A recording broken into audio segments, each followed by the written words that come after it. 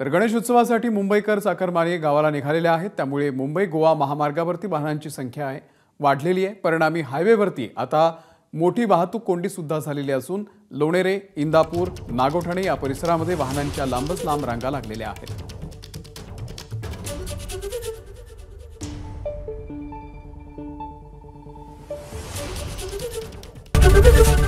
ABP माझा. उघडा डोळे बघा नीट.